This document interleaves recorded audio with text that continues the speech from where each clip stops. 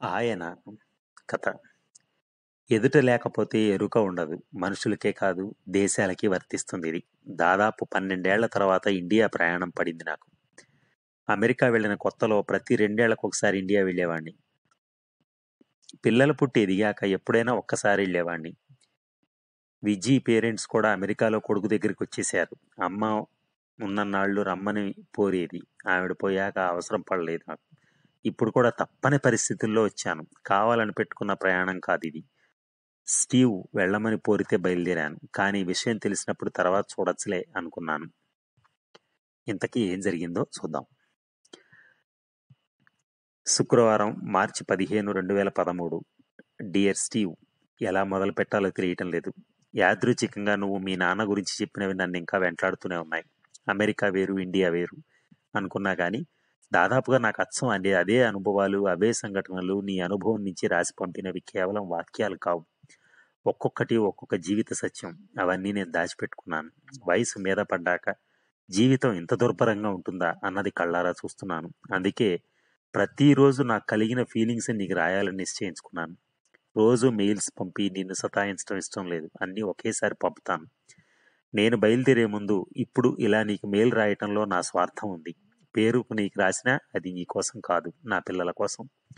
వాళ్ళకి ఎప్- ఇప్పుడు చెప్పినా అర్థం కాదు. నాకింత వయసు వచ్చాక అర్థమైనట్లుగానే ముందు ముందు ఎప్పుడైనా వాళ్ళు కూడా ఈ మేలు చూస్తారన్న ఆశ అర్థం చేసుకుంటారన్న ఆశ. అందుకే ఇంగ్లీష్లో రాస్తున్నాను ఈ ఉత్తరం.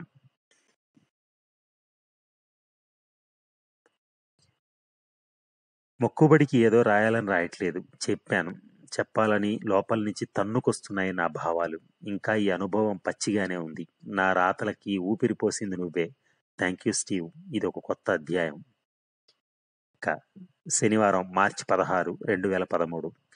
నిన్న ఇంట్లోకి అడుగు పెడుతుండగానే భరించలేని దుర్గంధం. ఇవాళ పొద్దున్నే రింకు వచ్చాడు. నాతో కలిసి లోపలికి వచ్చిన రింకు తలుపు దగ్గరే వచ్చేతో ముక్కు మూసుకున్నాడు. రింకు వాళ్ళ నాన్నే నాకు బెంగళూరు నుంచి అమెరికాకు ఫోన్ చేశాడు. బెంగళూరులో మా అపార్ట్మెంట్లోనే మా ఫ్లోర్లోనే ఉంటాడు మంచి మనిషి ఆయన. ఆయనకి చేదోడు వాదుడుగా ఉంటాడు. మూడు రోజులైనా ఆయన లేవటం లేదని కేర్ టేకర్ దాది కూడా రావటం మానేసిందని వాళ్ళ డాడీ నిన్ననే డాక్టర్లు తీసుకొచ్చారని చెప్పి వెళ్ళిపోయాడు రింకు. డాక్టర్ సాయంత్రంగానే రాడని కూడా రింకునే నాకు చెప్పాడు. రింకు డాడీ వస్తే పూర్తి వివరాలు తెలుస్తాయి. మనసం మీద అస్థిపంజరంలా పడున్నాడు ఆయన. ఆయన్ని నేను ఎప్పుడూ పట్టించుకోలేదు. కావాలనో నిర్లక్ష్యంగానో కాదు.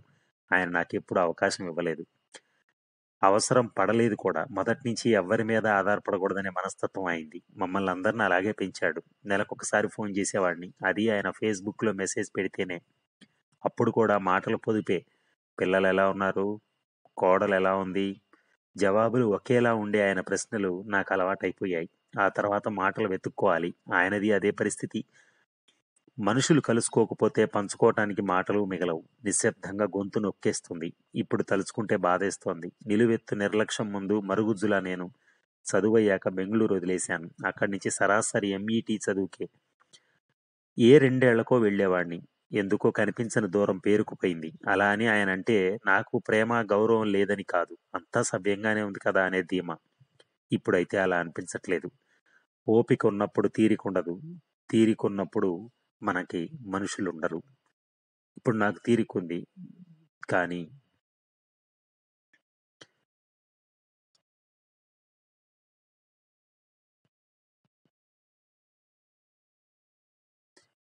బెంగళూరు వచ్చి రాగానే ఆయన పరిస్థితి చూస్తే నాకు భయమేసింది. కళ్ళంతా పీకిపోయాయి మాసిన తెల్లగడ్డం ఎముకల్ని అంటి పెట్టుకున్న చర్మం. చూడటానికి ఎక్కడా కందలేదు ముసలితనం కండ కండలేదు ముసలితనం ఇంత దారుణంగా ఉంటుందా అనిపించింది. నేను చూసిన ఆయన వేరు. మెడికల్ రిపోర్ట్స్ చూశాను. మహా అయితే నాలుగైదు రోజులని డాక్టర్ చెప్పాడు ఫోన్లో. ఇక్కడ నాకు ప్రతిక్షణం విలువైందే. పదిలంగా దాచుకోవాల్సిన సందర్భం. అందరం ఈ దశకి చేరుకోవాల్సిన వాళ్ళమే. అదంతా చూస్తూ కూడా ఈ దశ మనల్ని చేరదన్న భ్రమలో ఉంటాం. నాకు ఫిలాసఫీ అంటుతోంది. ఇది కూడా నీ చలవే నీ తండ్రి గురించి చెప్తూ నువ్వు అన్న మాటలు గుర్తొచ్చాయి. Treat the person and not the illness. అని చెప్పని. ఆదివారం మార్చి పదిహేడు రెండు వేల పదమూడు. వచ్చినప్పటి నుంచి ఏదో ఒకటి చేస్తూనే ఉన్నాను. ఆయన పరిస్థితి అలాగే ఉంది. ఇంకా ఇప్పుడు పర్వాలేదు. వచ్చిన రోజైతే మరీ దుర్భరం. ఇంట్లో కడుగు పెట్టగానే చెప్పలేనంత దుర్గంధం. మంచం మీద బట్ట కూడా సరిగ్గా లేకుండా పడుకున్నాడు. మలమూత్రాలు కూడా మంచం మీదే అయినట్లున్నాయి వాసన భరించలేకపోయాను. ఆ పరిస్థితుల్లో ఆయన అలా చూడటంతో నా మీద నాకే కోపం వచ్చింది ఒక చేత్తో ముక్కు మూసుకుంటూ దగ్గరికి వెళ్ళి ఆయన చేయి పట్టుకున్నాను. పలిసి చూశాను. ఉలుకు పలుకు లేదు. ఊపిరి మాత్రం ఉంది. అచేతనంగా పడున్నాడు. ఆయన పరిస్థితి చూస్తే ఒక పక్క జాలి మరొక పక్క భయము వేసింది. కబ్బన్ పార్క్ నాలుగైదు సార్లు చుట్టేసి ఆయన్ని అలా అచేతనంగా చూడలేకపోయాను. ఆయన అంటూ పిలుస్తూ కదిపి చూశాను. ఏ రకమైన స్పందన లేదు. నాకు డాడీ అంటాం అలవాట్లేదు. నిజానికి నాన్న అని పిలవాలి.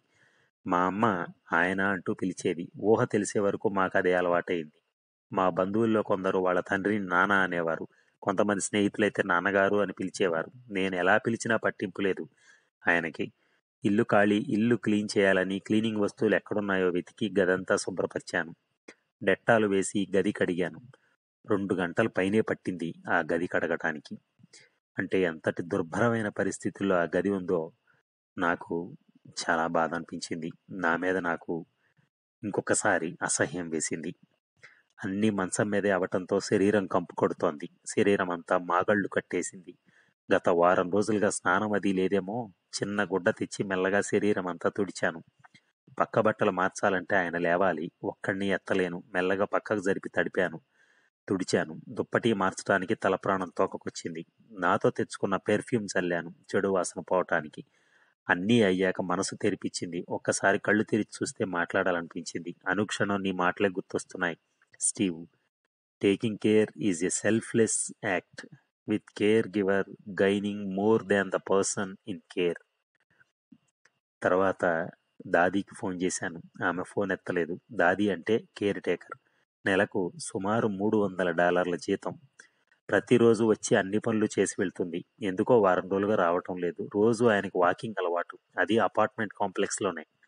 నాలుగు రోజులుగా కనిపించకపోయేసరికి డోర్ బ్రేక్ చేసి వెళ్ళి చూస్తే మంచం మీద పడున్నాడట. వెంటనే నాకు కాల్ చేశారు. రింకు డాడీ డాక్టర్ని పిలిపించి చూపించాడని ఫోన్లో చెప్పారు. నేను టైంకి రావటం మంచిదైంది సాయంత్రం డాక్టర్ వస్తారని కబురు పంపారు. మెల్లగా అక్కడ స్టూల్ తెచ్చుకుని కూర్చున్నాను. రాత్రంతా బాధతో గట్టిగా అరుస్తాడు. ఏమీ చేయలేను. ఇది ఒక పెద్ద సఫరింగ్. బాధ అనుభవించే వాళ్ళకన్నా చూసే వాళ్ళకి మరీను గదంతా నిశ్శబ్దం. నిశ్శబ్దాన్ని చీలుస్తూ సన్నగా ఆయన ఊపిరి ఇండియా అంటే నాకు జెట్ ట్యాగ్ జెట్ లాగ్ భయం. అలాంటిది నిద్ర నా దగ్గరికి వస్తే ఒట్టు ఒక్కడు ఇంట్లో ఎలా ఉంటున్నాడా అన్న ఆలోచన నాకు భయం కలిగించింది.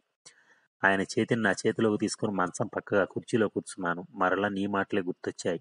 Steve many times we take it for granted we seldom realise the importance of the opportunity be with it అని చెప్పని నువ్వు అన్న మాటలు ఇంకా నా చెవిలో మారుమోగుతూనే ఉన్నాయి.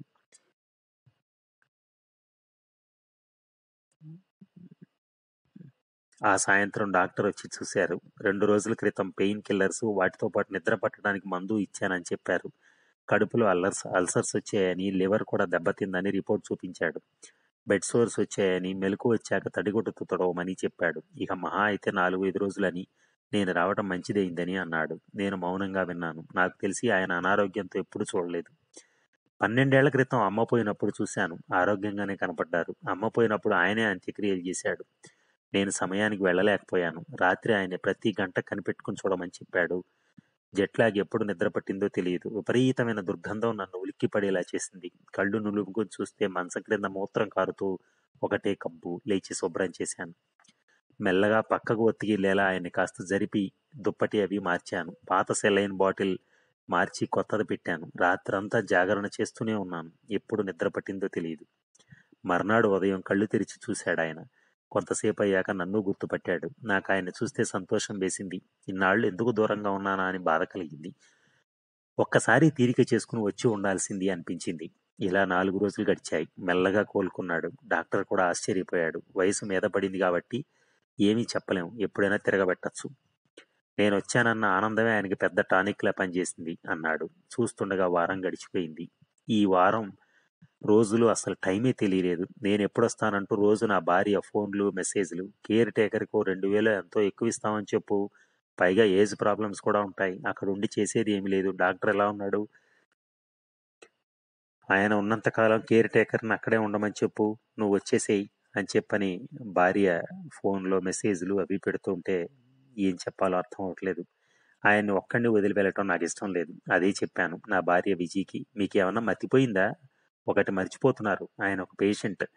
మహా అయితే ఇంకో వారం లేదా రెండు అంటూ ఫోన్లో అంది. ఓపిక్గా విన్నాను. విజీ he may be a patient but my parent అనేసి ఫోన్ పెట్టేశాను. ఒంటరిగా వదిలి వెళ్ళటానికి మనస్కరించలేదు. అమెరికా నుంచి బయలుదేరే ముందు స్టీవ్ చెప్పిన మాటలు నా బుర్రలో నాటుకుపోయాయి.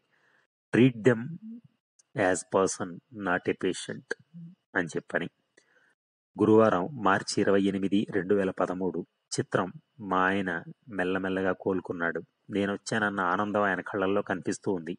అనూహ్యమైనటువంటి మార్పు వచ్చింది లేచి మంచం మీద కూర్చున్నాడు. శక్తి కూడ తీసుకుని నాతో మాట్లాడటానికి ప్రయత్నిస్తున్నాడు. డాక్టర్ కూడా ఆశ్చర్యపోయాడు. అప్పటికి నేను వచ్చి మూడు వారాలైంది. విజీ ఫోన్ల మీద ఫోన్లు ఎప్పుడొస్తారంటూ ఆయన కూర్చోవటం మొదలుపెట్టాడు. మెల్లగా నడవటం కూడా. ఇంత త్వరగా కోలుకోవటం నాకు ఆశ్చర్యమే. మాట మరి ముద్దగా ఉంటోంది కానీ పట్టుకుంటే నడిచే స్టేజ్కి వచ్చాడు బాత్రూమ్ కూడా ఒక్కడే వెళ్తానంటాడు. నేను చేయి పట్టుకుంటే పక్కకు తోసేస్తాడు. ముట్టుకోవద్దంటూ చికాకు పడతాడు. స్నానం చేయించి ఒళ్ళు తుడిస్తే అసహనంగా కళ్ళు మూసుకుంటాడు. తనకు ఓపిక లేదు. ఇంకొకళ్ళ చేత చేయించుకోవటం పడదు. నేను బట్టలు కడతానంటే ఒప్పుకోడు. పళ్ళు నూరతాడు. దూరంగా నెట్టేసేవాడు. నాకు సహనం తక్కువ. గట్టిగా అరిచేవాడిని. అరిస్తే చిన్నపిల్లాళ్ళ కళ్ళనీళ్ళు పెట్టుకునేవాడు. నాకు నా చిన్నప్పటి సంఘటనలు గుర్తొచ్చాయి. క్లాసులు ఎగ్గొట్టి సినిమాలకి క్రికెట్ ఆటకి వెళ్ళిపోతున్నానని ఆయన గొడవ పెట్టేవాడు. నేను ఎప్పుడు చెప్పిన మాట వింటలేదని ఆయన కోప్పడేవాడు. జీవితం ఎంత చిత్రమైంది. ఆయన స్థానంలో నేను నా స్థానంలో ఆయన. ఈ నాటకంలో మా పాత్రలు తారుమారయ్యాయి. నాకైతే నువ్వు చెప్పినవన్నీ గుర్తొస్తున్నాయి స్టీవ్. ఎంత అందంగా చెప్పావు ఇవన్నీ. నాకు అర్థమయ్యేటట్టుగా. ఈరోజు మా నాన్నతో నేను ఇలా ఉన్నాను అంటే అది మొత్తం నీ చలవే అని నాకు అనిపిస్తూ ఉంటుంది.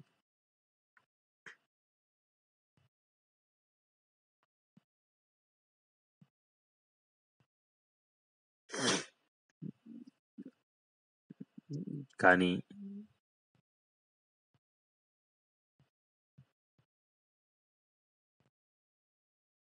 ఇక్కడి నుంచి ఆయన్ని ఎలా తీసుకెళ్ళాలి? ఒకవేళ బాగైతే అనేది నాకు ఒక ప్రశ్నార్థకంగా మిగిలిపోయింది. నేనేం చేయాలో కూడా అర్థం కాకుండా కొంత ఆలోచనలో పడ్డాను. వాళ్ళు మన మాట వింటం లేదని చికాకు పడతాం. వాళ్ళు చెప్పేది చెప్పదలుచుకున్నది వినే సహనం మనకుండదు. ఒక పక్క అనారోగ్యం మరో పక్క సహకరించని శరీరం చెప్పింది. వినమంటూ ఇంకొకళ్ళు ఇంకొక పక్క సొంత వాళ్ళ చికాకులు ఇవన్నీ వాళ్ళకి బతికుండగానే చంపేస్తాయి రాజ్. ఇది మా అమెరికా కుటుంబాల్లోనే కాదు ఎక్కడైనా ఇంతే అని నువ్వు అన్న మాటలు నాకు ఇప్పుడు కరెక్ట్ అనిపిస్తున్నాయి. ఒక్కొక్కసారి మన పెర్సెప్షన్ మన ఇంటెలిజెన్స్ని డామినేట్ చేస్తుంది. We lose control listen to them with care funny how rules reverse ఆ రూల్స్ రివర్స్ అయినాయి అని చెప్పని నువ్వు అన్నది కరెక్ట్. మంగళవారం ఏప్రిల్ రెండు రెండు వేల పదమూడు. స్టీవ్ నువ్వు నన్ను వెళ్ళి తీరాలని చెప్పకపోతే ఇలా వచ్చి ఉండేవాడిని కాదు. ఈ మూడు వారాలు నా జీవితంలో మర్చిపోలేని రోజులు. ఆయన స్పృహలోకి వచ్చాక నన్ను చూసినప్పుడు ఆయన కళ్ళల్లో కనిపించిన కాంతి జీవితాంతం నాకు గుర్తుంటుంది. కేర్ టేకర్ ఉన్నా కానీ అన్నీ నేనే దగ్గరుండి చూసుకుంటున్నాను. రింకు అప్పుడప్పుడు వస్తాడు. రింకు వాళ్ళ నాన్న కూడా ఆశ్చర్యపోయాడు. ఆయన కోలుకోవటం చూసి. కేర్ టేకర్తో మాట్లాడాను. ఆయన కోలుకుంటున్నారు కాబట్టి అమెరికా వెనక్కి వెళ్ళిపోతానని. నెలకు లక్ష రూపాయలు ఇస్తాను. ఇరవై నాలుగు బై ఏడు ఆయన్ని చూడాలని చెప్పని అక్కడే ఉండాలని చెప్పాను. కావాలంటే ఫ్యామిలీని ఇక్కడికి వచ్చి ఉండమని చెప్పాను. ఆయన తనంతట తాను కూర్చోగలుగుతున్నాడు బెడ్ మీద. మాట మాత్రం ఇంకా ముద్దగానే ఉంది. ఏదో చెప్పాలని తాపత్రయపడుతున్నాడు కానీ నాకేం అర్థం కావట్లేదు. వద్దని చెప్తే బాధపడుతున్నాడు. ఒక్కొక్కసారి ఏడుస్తాడు. ఇంకొకసారి దగ్గరికి తీసుకుంటాడు. నిజానికి నన్ను తరిమి కొట్టి బాధ ఒక్కటే. ఇన్నాళ్ళు ఎందుకు రాలేకపోయానా అని. ఆ నిజం. చెప్పద్దు. ఈసారి ఇండియా ప్రయాణం నాకు చాలా నేర్పింది స్టీవ్. Thank you. నువ్వు చెప్పిన ప్రతి వాక్యం ఇంకా నా చెవుల్లో గింగిర్లాడుతూనే ఉన్నాయి. Becoming old is not a disease. Frustration is the is a fear of save facing reality. ఇదే మనం ఇప్పుడు ఆలోచించాల్సింది. మనం ఏదైనా ఒక రియాలిటీని ఫేస్ చేయాలంటేనే మనం బాధపడుతున్నాం. శుక్రవారం ఏప్రిల్ ఐదు రెండు వేల పదమూడు. రేపే నా అమెరికా తిరుగు ప్రయాణం. ఆయన అనూహ్యంగా కోలుకున్నాడు. నేను రావటం మంచే జరిగింది. శక్తి లేకపోయినా కూడ తీసుకుని కూర్చుంటున్నాడు. పర్వాలేదు. గండం గడిచింది. అనుకుంటూ ఉండగా ఆ రోజు మధ్యాహ్నం ఆయన మంచం మీద వాలిపోయాడు. డాక్టర్ కాల్ చేస్తే వెంటనే వచ్చాడు. ఆయన ఇక లేడని చెప్పాడు. నాకు నోట మాట లేదు. కన్నీళ్ళు లేవు. దగ్గరగా వెళ్ళి ఆయన ముట్టుకుని తడిమాను. నా చిన్నప్పటి సంగతులన్నీ గుర్తొచ్చాయి. రామాయణం చదివించడం జూన్ జాన్ కీట్స్ కవితం పరిచయం చేయటం గాంధీ గురించి విశేషాలు ఇలా ఎన్నో ఆయన ఆకర్షణాల్లో క్షణాల్లో పక్కనే నేనున్నాను ఐఎమ్ లక్కీ. మా అమ్మ పోయినప్పుడు నేను దగ్గర లేను నేను వచ్చే వరకు శవాన్ని ఉంచలేదు. ఆమె పోయిన రెండు గంటల్లోపే అమ్మ అంత్యక్రియలు పూర్తి చేసేశారు. మిగతా బంధువులు వచ్చే వరకు కూడా ఉంచలేదు నాకు అది గుర్తొచ్చింది. నేను ఆయన అడుగుజాడల్లోనే నడిచాను అన్నీ నేనే స్వయంగా చేశాను. నాకు పది రోజుల కర్మకాండ ఇలాంటివి నచ్చవు. అన్నీ సింపుల్గానే కానిచ్చేశాను. చివరి క్షణాల్లో మా నాన్న నేను బాగా చూసుకున్నాను అన్న తృప్తి మాత్రం నాకుంది. నువ్వు అన్నది నిజం Steve. Make peace with your decisions. Let them go and suffering is inevitable అని చెప్పాను నువ్వు అన్నమాట నాకు ఇప్పటికీ గుర్తుంది. శనివారం ఏప్రిల్ ఆరు రెండు వేల పదమూడు నేను మన ప్రపంచంలోకి రావడానికి ఒక రోజు పట్టింది. మర్నాడు ఆస్తుల వివరాలన్నీ బ్యాంక్ లాకర్లో ఉంటే తెచ్చి చూశాను. వీలునామా అంటూ ఏమీ రాయలేదు. కానీ కేర్ టేకర్కి పది లక్షలు ఇవ్వమని నోట్స్ రాశాడు. తన బ్యాంక్ అకౌంట్లు డబ్బు వివరాలు ఉన్నాయి. మా అమ్మ జ్యువెలరీ ఉంటే అమెరికాకు తీసుకురమ్మని నా భార్య బయలుదేరే ముందే చెప్పింది. మంగళసూత్రాలు కాలిమెట్టెలు నాలుగు జతల గాజులు ఉన్నాయి. అవి ఆయన చేయించినవి అనుకుంటా రంగు కాస్త పోయింది. వాటిని జ్ఞాపకంగా మిగిల్చుకున్నాడు ఆయన. అమ్మకి చంద్రహారం వంకీలు డైమండ్ నెక్లెస్ ఉండాలి. అవి కనిపించలేదు. మా అమ్మకి అలంకరణల మీద మోజు ఎక్కువ బిజీకి ఆమె బంగారం వివరాలు బాగానే గుర్తు.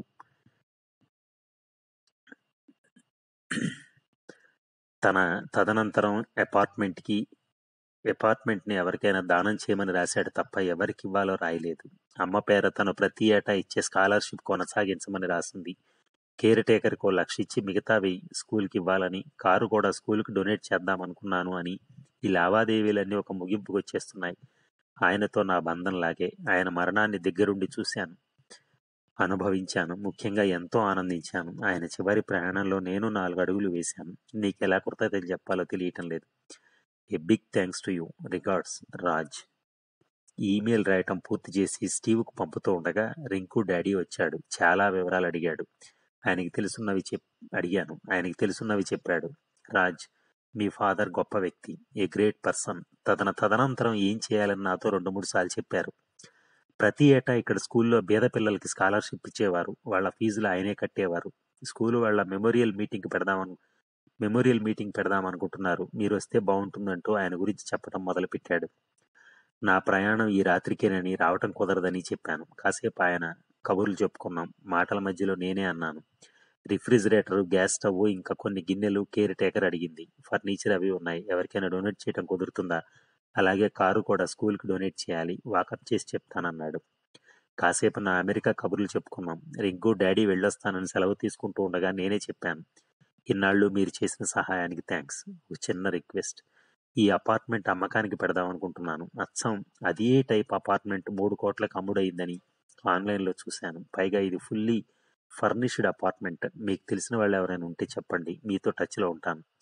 One more thing. మీకు తెలిసిన చార్టెడ్ అకౌంట్ ఉంటే మాకు చెప్పండి. రూపీస్ని డాలర్లోకి ఎలా కన్వర్ట్ చేస్తారో ఆ వివరాలు కొనుక్కోవాలని. అలాగే అంటూ ఆయన మొహం చిట్లించి నాకేసి అలా చూస్తూ వెళ్ళిపోయాడు. టిపికల్ ఇండియన్ లుక్స్ అర్థం కాలేదు నాకు. Thank you very much.